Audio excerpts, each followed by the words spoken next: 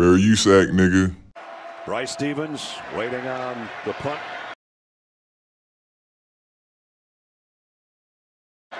Burnett. Whoa. That snap hit somebody, and Burnett's got to just cover it back at the three yard line. What happened there?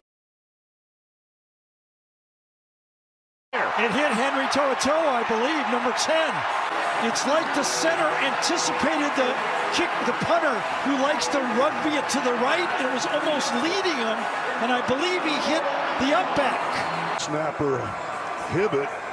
It's right in the shadows. It was hard to see. Yes, it hit him, hit the up back, and it was Henry To'oTo'o. It's almost like he was leading the punter to the right, and he let it right into the up back, blocking on the. This will show us a better angle. There it is, just sideways. Look how far off line that was.